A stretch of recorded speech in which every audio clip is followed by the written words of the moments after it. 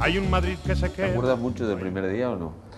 Todos los días. ¿Sí? Date cuenta que el primer día fue el que dio pie a todo lo que ha venido después. Fue aquella, aquella tarde en, en Murcia y, y aunque han pasado 18 años, lo, lo veo como si hubiese sido antes de ayer.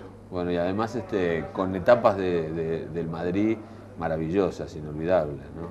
Sí, sí, sí. El- el- la ventaja que tiene uno cuando juega aquí, y eso lo sabes tú bien, es que sabes que, que antes o después vas a conseguir títulos. Lo que no es fácil es, en el día de hoy, pues conseguir la cantidad de títulos que yo he conseguido. Y si a eso le sumas que, que, independientemente de que haya habido momentos difíciles, la convivencia dentro de esta casa ha sido siempre maravillosa, pues eh, he podido vivir durante 18 años casi en un sueño. Esa quinta del buitre no se olvidará jamás, ¿no? Y, y- y han pasado todos y tú seguiste. Bueno, fui el primero en llegar y soy el último en irme. Y yo creo que ha sido más que nada condicionado por, primero por el factor de edad, que, que tengo dos años menos que, que Emilio y que Michel. Y luego, pues, un poquillo también el factor suerte. ¿no? Hay veces que las circunstancias te, te obligan a salir antes de tiempo y hay otras veces que las circunstancias te dejan quedarte, cumplir. Y en este caso, vivir una etapa, esta última, que ha sido realmente grande con los- las dos Copas de Europa y la Intercontinental. En eso te iba a preguntar, es decir, en una carrera tan larga y con tantos logros y tantas cosas buenas que te han pasado, ¿no? Es difícil elegir puntos importantes. Quizás lo resaltás cuando uno está llegando al final y además los títulos son tan fuertes, es casi como que queda más marcado esto, ¿no? Sobre todo porque las oportunidades que te quedan son poquitas. Entonces, cuando uno engancha el tren en la última estación, se da cuenta de, de que ha habido muchas estaciones anteriores donde ha pasado de largo. Eh, esto lo- los que no creo que lo tengan tan claro como yo son los demás chavales jóvenes del equipo, que en su primer, segundo, tercer año han conseguido ganar la Copa Europa. Yo la conseguí ganar cuando llevaba 14 años en el equipo. Eso te indica que, ni es fácil, ni, ni es un título para, para pensar que en cualquier momento lo puedes conseguir. Tuvimos una gran ocasión en el año 87, creo que fue. Se pasó de largo y hasta el año 98, 11 años después, no volví a tener otra ocasión. ¿Cuál disfrutaste más? La, La primera. La, primera. La primera, la primera, el 20 de, de mayo del 98. No solo yo, sino muchas generaciones de madridistas nos desquitábamos de, de lo que era un deseo continuo, que era ganar la Copa Europa. En la etapa de la quinta al buitre conseguimos cinco títulos de liga seguidos, con Copas del Rey, Copas de la UEFA, pero no era suficiente. No era suficiente, todo el mundo quería la Copa Europa.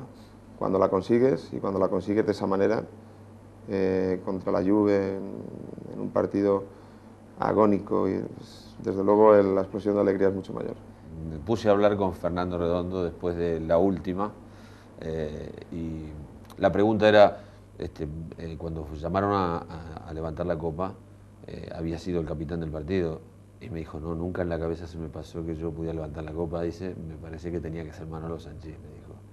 Sí, yo recuerdo perfectamente porque yo participé en la última parte del partido y, el que había salido como capitán en esa final fue Fernando.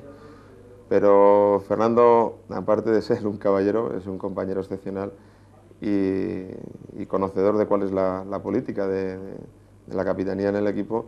No solo no puso ningún problema, sino exigió que fuese yo el que, el que fuese a recoger la copa. Es una cosa que, que siempre le, le agradeceré a Fernando, independientemente de nuestra gran amistad. Yo digo, la familia Sánchez este, seguirá generando en el Madrid tantas cosas importantes. Pues no lo sé. en- nosotros tenemos, el- en mi casa tenemos la- el madridismo no como una afición, sino como una forma de vivir. Y lo mismo lo viven pues, nuestras mujeres, como nuestros hijos, como, como casi toda la gente que pasa por casa se da cuenta que, que es más que, que un deporte, que para la familia Sánchez es una forma de vivir. Entonces, dentro de ese ambiente favorable, Dios dirá si, si hay alguien más que va a venir a, a seguir en la saga o si nosotros tendremos oportunidad en un futuro de seguir dentro de la casa. He visto las botas tuyas de- en el museo del Madrid, del partido 500, fue, ¿no? Ujú. ¿Cuántos más han sumado después de ese partido? ¿Cuántos llevas, sabes? no? Veintitantos más, no sé exactamente cuántos, Ajá. pero veintitantos más. Y ya sabes lo que vas a sentir el día que, que digas, bueno, acá gracias a todos me voy. Pues no, ese día no. sé lo que es dar gracias porque lo, hago casi de continuo. Eh, la experiencia de poder haber jugado en este equipo y tantos años es una experiencia que solo se agradece si, si lo haces día a día. El día que me retire, en ese momento no creo que nadie sea capaz de, aventurar lo que va a ocurrir. Creo que no te van a olvidar nunca. ¿eh? Yo te agradezco mucho la gentileza que nos hayas recibido. ¿eh? Muchas gracias a vosotros. Hay un Madrid que se apaga, hay un Madrid que se quema, hay un Madrid que se queda y hay un Madrid que se va. Hay un Madrid que se entrega y hay un Madrid que resiste, hay un Madrid que no existe y hay un Madrid que es verdad. Hay un Madrid con ventanas y otro con puertas abiertas. Y hay un Madrid siempre alerta, aunque digan que no está. Hay un Madrid con gigantes y hay un Madrid con enanos. Hay un Madrid con hermanos que no se han visto jamás. Hay un Madrid que se sube a los muros del cariño y ese Madrid es un niño que no sabe dónde va. Hay un Madrid que se baja en la mitad del camino sin importarle un comino lo que le pueda pasar. Hay un Madrid que respeta y hay un Madrid insolente, uno que muestra los dientes cuando lo quieren tocar. Hay un Madrid que es culpable y hay un Madrid inocente y hay un Madrid diferente que no se puede explicar.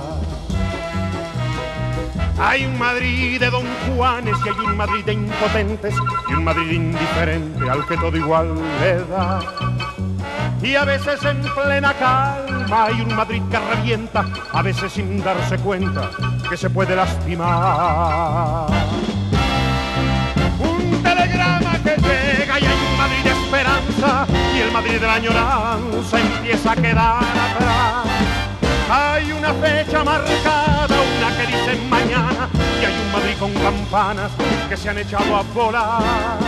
Entonces suenan canciones, entonces vuelan palomas, y hay un Madrid que se asoma cual si fuera Navidad.